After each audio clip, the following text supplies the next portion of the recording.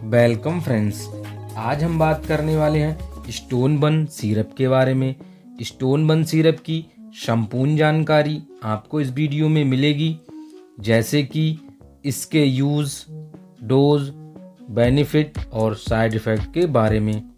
अगर आपको गुर्दे में पथरी पेशाब में जलन पेशाब रोक कर आना, मूत्रमार्ग में संक्रमण या इनसे जुड़ी कोई भी समस्या है तो यह वीडियो आपके लिए बहुत ही महत्वपूर्ण होने वाली है।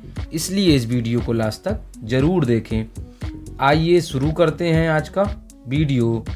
स्टोन बन सिरप एक ओरल सोल्यूशन कॉम्बिनेशन मेडिसन है, जिसे मुख्य रूप से मैग्नीशियम साइट्रेट 375 पचहत्तर एम जी पाँच एम में, पोटेशियम साइट्रेट 1100 सौ एम जी पाँच एम में होता है और इसे सिप्ला हेल्थ केयर कंपनी के द्वारा बनाया जाता है।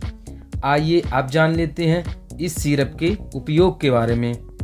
इस सिरप का उपयोग मुख्य रूप से गुर्दे की पथरी के इलाज के लिए इस सिरप का यूज़ किया जाता है और यह यूरिन में पीएच को बढ़ाकर किडनी स्टोन को बनने से रोकता है और यह छोटे छोटे पत्थरों को तोड़कर बाहर निकालने में काफ़ी मदद करता है और यह गुर्दे संबंधी सभी प्रकार की समस्याओं के इलाज के लिए इस सिरप का यूज़ किया जाता है, जैसे कि गुर्दे की पथरी पेशाब में जलन पेशाब रुक रुक कर आना मूत्राशय में पथरी, मूत्र मार्ग में संक्रमण पेशाब में क्रिस्टल और किडनी, मूत्राशय और मूत्र मार्ग के सभी प्रकार के संक्रमण को ठीक करने के लिए इस सिरप का यूज़ किया जाता है। अगर आपके गुर्दे में पथरी पेशाब में जलन पेशाब रुक रुक कर आना इनसे जुड़ी कोई भी समस्या है तो आप इस सिरप का यूज़ कर सकते हैं। आइए अब जान लेते हैं इस सिरप के कुछ नॉर्मल से साइड इफ़ेक्ट के बारे में। वैसे तो इस सिरप के कुछ नॉर्मल से साइड इफ़ेक्ट नज़र आ सकते हैं, जैसे कि जी मचलाना, उल्टी, दस्त, पेट में दर्द जैसी नॉर्मल समस्याएँ नज़र आ सकती हैं।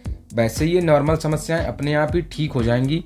अगर ये नॉर्मल समस्याएँ अपने आप ठीक ना हों तो इस सिरप को यूज़ करना बंद कर दें और अपने डॉक्टर से तुरंत संपर्क करें।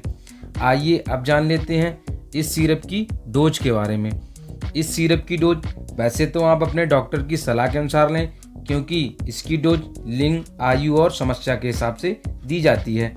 जैसे कि एक सामान्य व्यक्ति के लिए 15 एम एल सीरप सुबह शाम खाना खाने के बाद एक गिलास पानी के साथ यूज़ कर सकते हैं। और अच्छे रिज़ल्ट के लिए पानी का सेवन अधिक मात्रा में करें।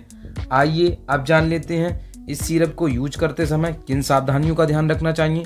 अगर कोई प्रेग्नेंट लेडी या स्तनपान करा रही लेडी इस सिरप को यूज़ करना चाहती है तो इसे यूज़ करने से पहले अपने डॉक्टर की सलाह अवश्य ले लें।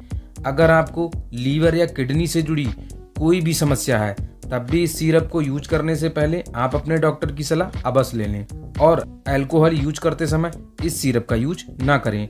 आइए अब जान लेते हैं इस सिरप की एमआरपी के बारे में।